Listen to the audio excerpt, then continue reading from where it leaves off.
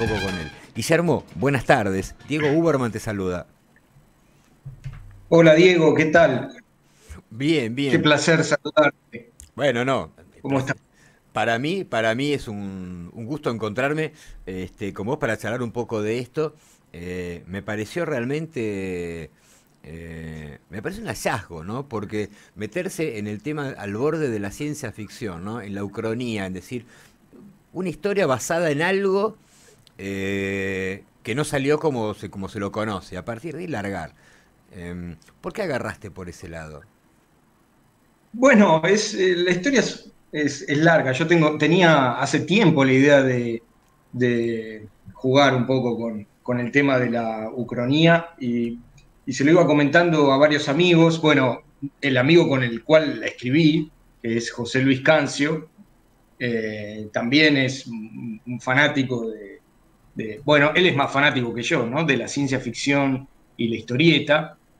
Y yo le decía, bueno, habría que escribir algo que haya pasado eh, diferente en Argentina.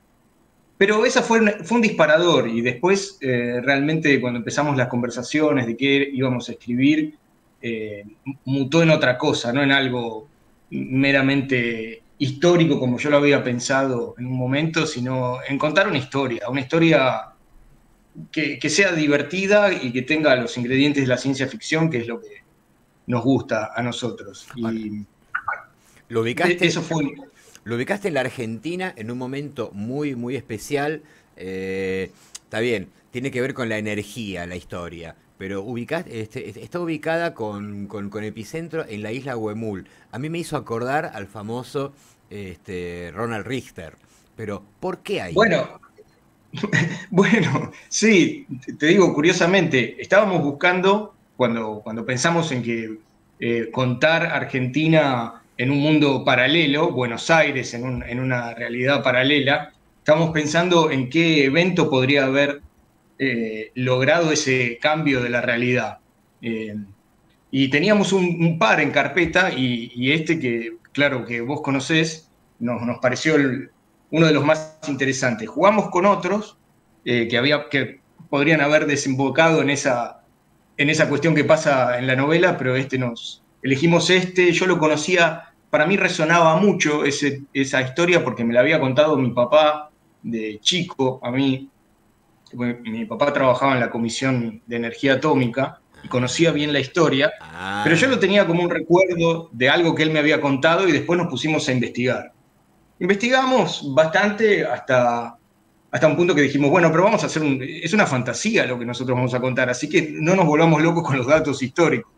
Pero, pero sí investigamos, eh, leímos algunos libros y eh, llegamos incluso a, al informe que preparó Balseiro, ¿no? la persona real, el físico real, eh, cuando analizó cómo trabajaba Richter y cómo su método no era científico y cómo lo que quería hacer no, no iba a ser logrado eh, con ese método. Aunque después también en nuestras investigaciones vimos que, que, a lo largo de los años encontré algunas páginas de internet de físicos, de chats, donde decían que su idea no era, no, no era tan alocada, que no tenía la tecnología para hacerlo, pero no era tan alocada. Y justamente, mirá qué curioso que eh, hoy sale una noticia en el diario en que en Estados Unidos lograron hacer la, fusión nuclear. Bueno, vos sabés que eh. justamente leyendo, leyendo la noticia de hoy, eh, digo, bueno, mirá cómo se alinearon los planetas porque la novela de Orce prácticamente está planteando que eso ocurrió, lo plantea como un, como un relato crónico, pero bueno, y ahí lo tenés en el diario hoy, entonces Va a haber que volver a escribir la historia, me parece. Pero bueno, Richter de todos modos un personaje, este, un personaje de lo más pintoresco, digamos, y pertenece a su época. Absolutamente, absolutamente. Un personaje que, que la historia es hermosa, ¿no? Vos la conocés, un personaje que viene eh, de Europa después de la guerra y plantea que puede lograr algo que casi en soledad y plantea todo un, un sistema secreto, primero se instala en Córdoba, pero no le parece lo suficientemente aislado, entonces quiere una isla, y a esa isla no, entraba, no se entraba fácilmente, ¿no? Bueno, Perón le puso todos los recursos necesarios, le compró, le compró el paquete completo, dijo, maestro, ¿qué necesita? Y el tipo lo que le pidió, Perón se lo dio, después se los quitó. Claro, sí, eh, eh, en un momento se produce esta, esta investigación y este informe independiente que si no, si no recuerdo mal, eh, porque con estas investigaciones empezamos hace, con este proceso de escribir empezamos hace cinco o seis años. Si no recuerdo mal, ese fue uno de los orígenes de la, de la Comisión Nacional de Energía Atómica, ¿no? este, hacer una, una investigación, una comisión sobre qué estaba pasando ahí en esa isla y si el proyecto era razonable. Claro, yo, lo que sé es que Balseiro logra finalmente que un grupo de diputados de la oposición fuercen un pedido de informes y una inspección, van a la isla y a partir de ahí se desmorona todo y con gran parte de los equipos que, que Richter le había hecho comprar a Perón fundan después el instituto, lo que iba a ser el Instituto Balseiro en Bariloche. Y bueno, a Richter le quitan la, la medalla del, del, mérito justicialista, lo, lo, lo digamos, lo bajan del candelero. Richter no se fue del país, se quedó viviendo igual acá. Ah, mirá vos, esa, parte no la, no, la, recordaba. Se fue a vivir a San Vicente y se quedó viviendo ahí en la provincia de Buenos Aires hasta bien entrado en la década del 60 que se murió. Pero, pero bueno, es otra historia, Orce. sí, sí, totalmente. volvamos a la oscilación. ¿Cómo se escribe una novela entre dos? Bueno, es un, proceso complejo y, la verdad muy, muy lindo para nosotros, porque eh, además porque empezamos a escribir sin saber escribir. Y bueno, se nota en el resultado final, ¿no? Eh, eh, como habrás podido notar.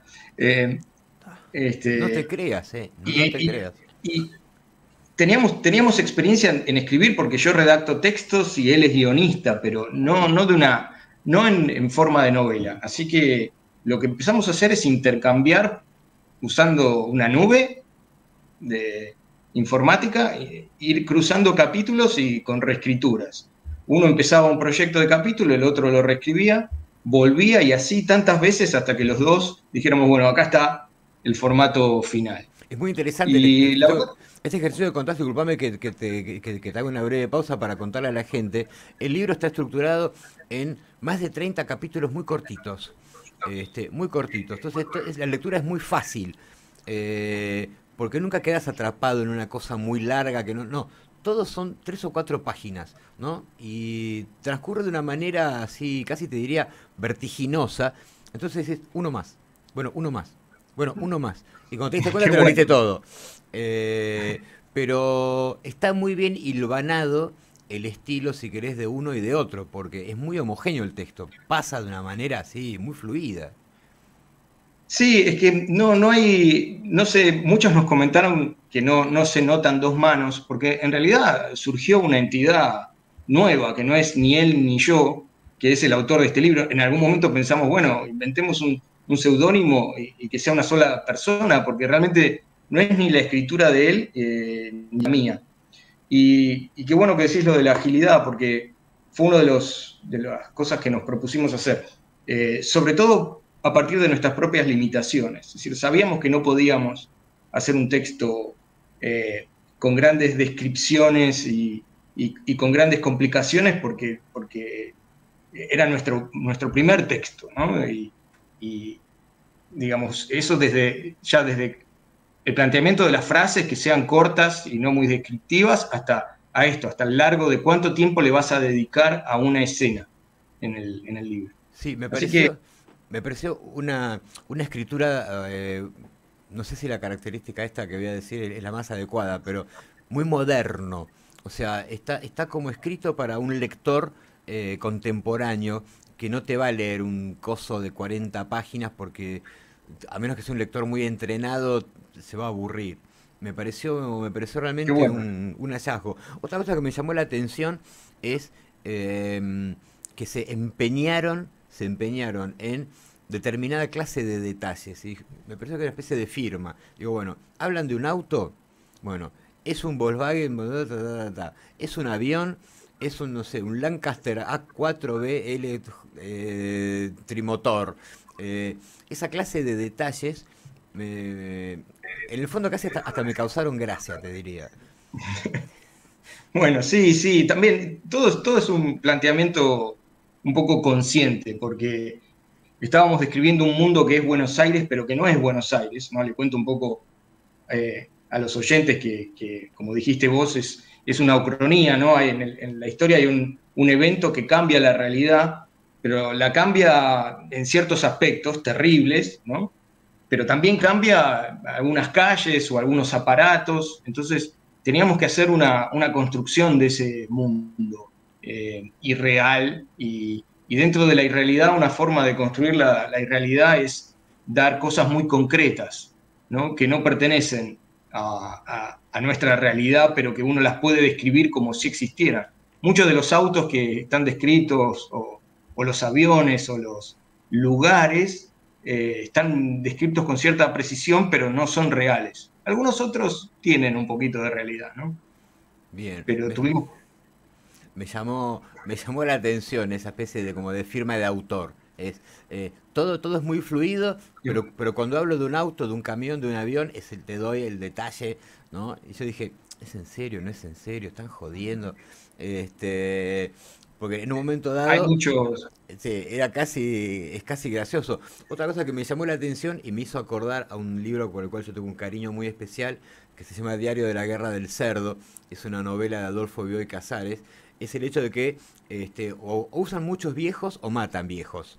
Eh, me llamó, me llamó, me hizo acordar de ese libro, no sé por si por ahí tuvo alguna relación. Bueno, bueno, no, te agradezco. Mira, no lo tenía presente en, e, en este momento ni hace muchos años, eh, ni durante el tiempo en que escribimos. Creo que no lo, que no lo recordé, pero claro, Bioy Casares, yo cuando entre mis, mis 18 y mis 25 años era, era fanático y una de las búsquedas, una de las razones de, una de las formas de describir esa irrealidad eh, era ver cómo, cómo, lo, cómo lo trabajaba él, aunque no, no lo volvimos a releer. Y lo que decís de los viejos, sí, en Diario de la Guerra del Cerdo sucede algo parecido. Nosotros quisimos, esto es una ucronía, pero también es una distopía, ¿no? En el sentido de que lo que sucede en nuestra historia eh, no es algo agradable. Y, bueno, todas las distopías hablan un poco de, en cierto aspecto, de, de cosas que a uno no le gustan, que al autor no le gustan de lo que ve la realidad. Entonces, es una extrapolación y es una exageración, una exageración, una hipérbole si querés, pero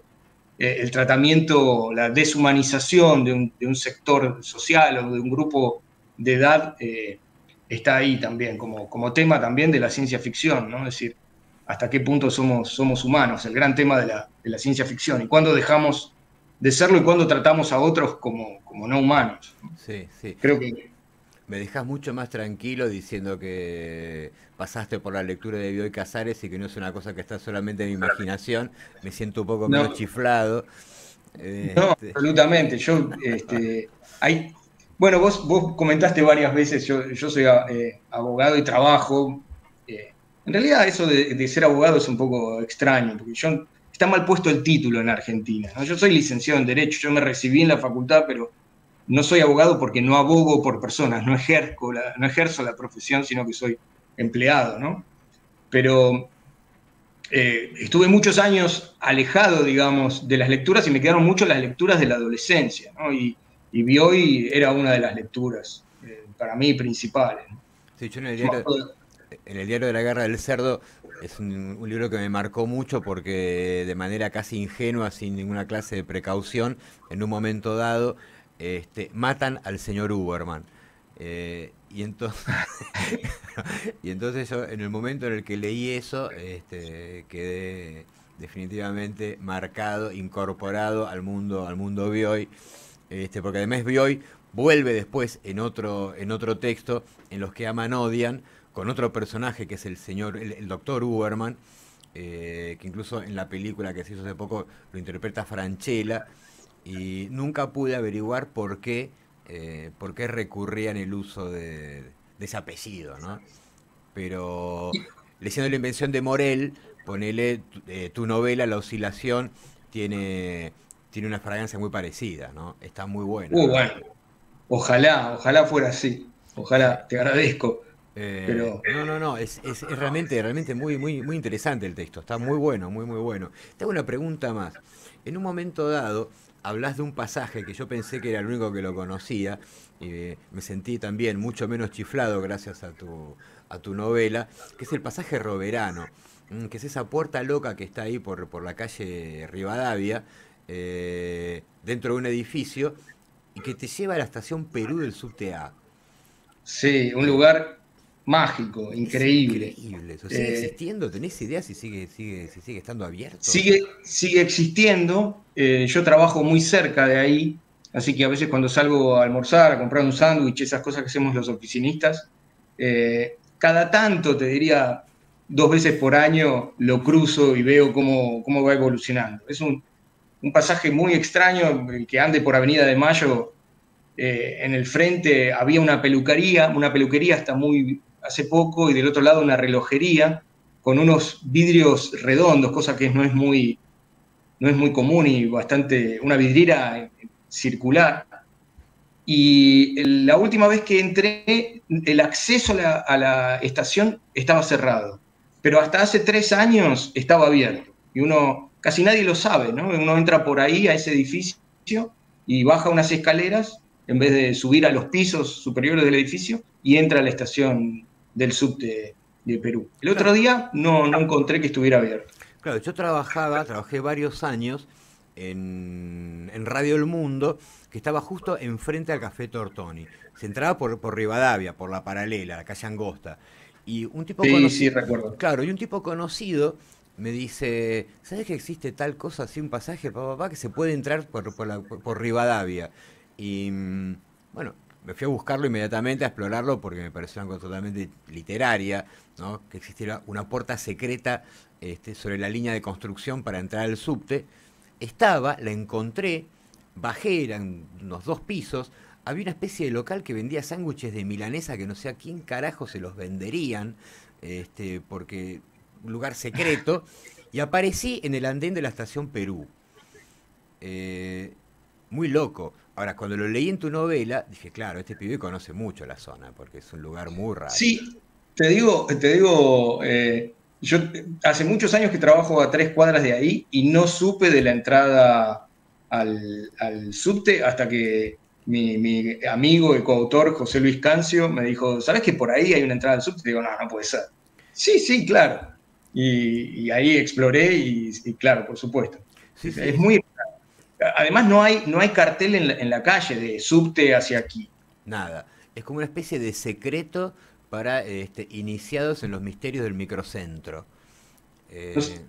sí, nos imaginamos en algún momento que sería una, entrada privada para, para, ese, para la gente que trabajara, trabajaría ahí, que no sé, nos imaginamos que sería importante. Después no lo, no lo incorporamos como idea, pero ni lo investigamos más, pero la verdad que es muy curioso y es, es muy interesante el pasaje, cómo está construido, los pisos que tiene. Está un poco en decadencia, pero, pero es muy lindo, sí.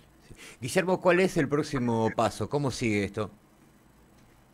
Eh, ¿Cómo sigue? Bueno, eh, yo siempre le digo a, mi amigo José Luis, y él, también quiere, bueno, ahora, ahora escribamos una buena. Estas, Vamos a escribir una que esté buena, a ver si nos sale mejor. Así que ahí estamos en, reuniones y, y, con ya con una idea bien, bien firme de qué queremos escribir.